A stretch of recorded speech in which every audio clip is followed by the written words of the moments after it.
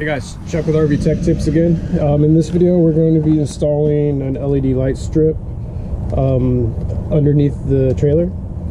Um, this one is made by Blackhawk. Um, it's uh, multicolor, 300 LED, LEDs, uh, waterproof, and it has uh, some 3M tape on the back that'll hold it. I'm actually replacing a light that was already there. Um, this one I like better because you can control the color of the lights and it has a remote so we can uh, change the modes and everything.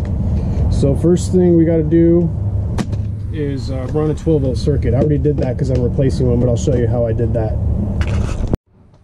So the easiest place on this trailer was the refrigerator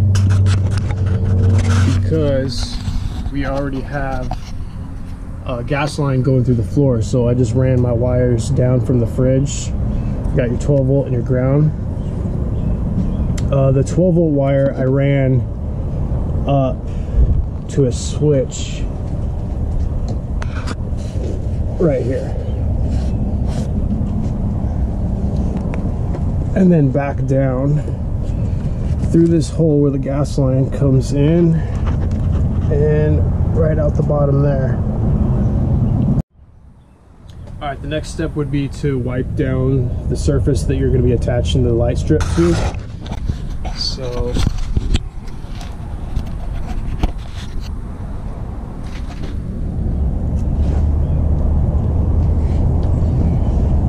wipe this down so there's no dust or debris on it and then make sure it's dry before you install the light so it will stick properly. Alright, our next step is to hook up our connector to our 12 volt wires, the circuit that we just ran. Uh, this is kind of long, so I think I'm going to trim it back a little bit. Don't want to have too much extra wire hanging around.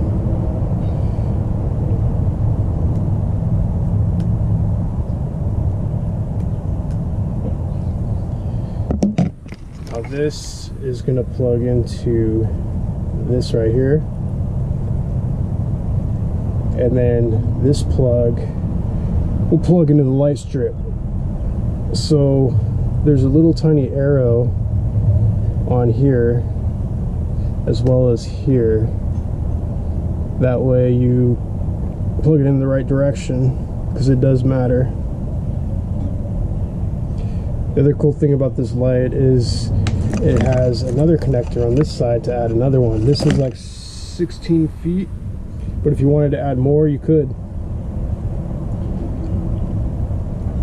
But first, we're going to hook this up to our uh, 12 volt.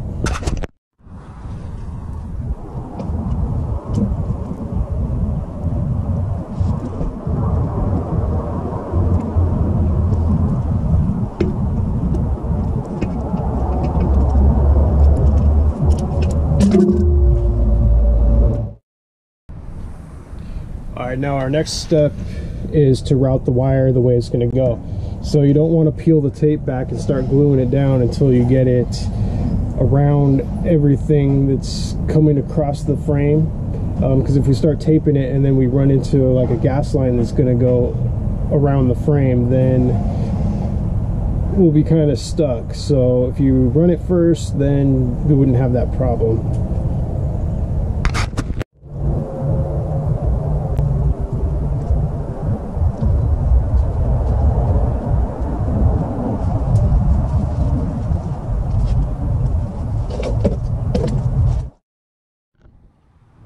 Okay, so we got our light around the axle and the propane hoses and everything.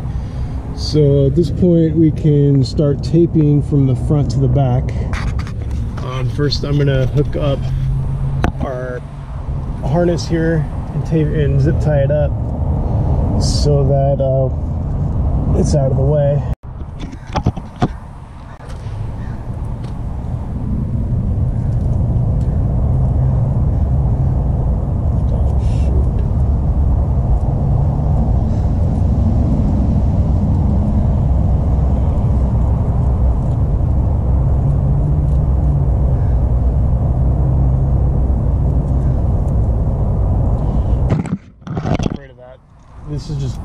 Right off the adhesive, so dang. Might just have to glue it on, I guess. Didn't really want to do that, but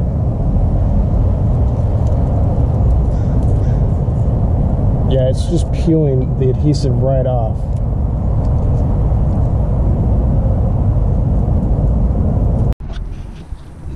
Alright, so I put a bunch of glue on the connector so it wouldn't come loose. Once that dries, it should stay connected, hopefully.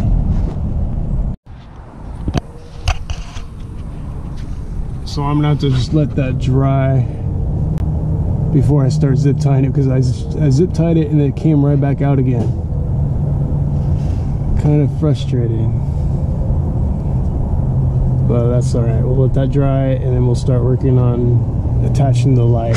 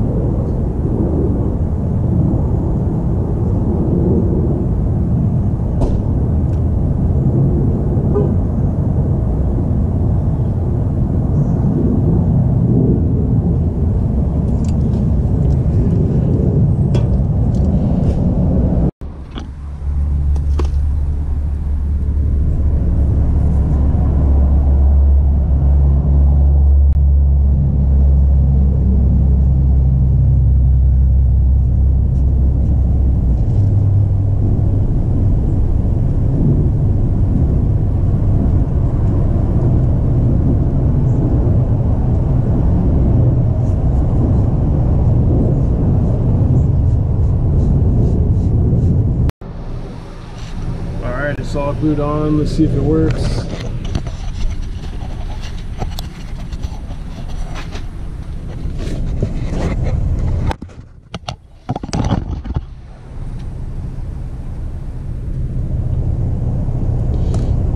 It works.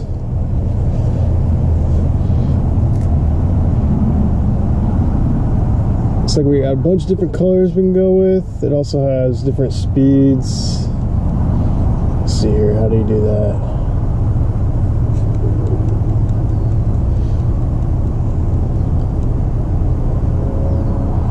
There we go. That's a little too crazy. Alright, so we're all done with the installation. It went pretty well. Um, the couple things I was disappointed in was the um, the 3M tape. Uh, when I was peeling back the backing, the whole uh, that took the adhesive off with it. Um, and I'll give Blackhawk the benefit of the, of the, doubt on that one because I think that it was probably stored too long in the at the distributor in the warehouse, and maybe it was getting too hot in there. Because 3M 3M makes really good products, so um, I, th I, think it was just maybe sitting on the shelf too long or something like that. And then also the uh, plug um, wouldn't stay in together. As long as my glue keeps it together, it should be okay.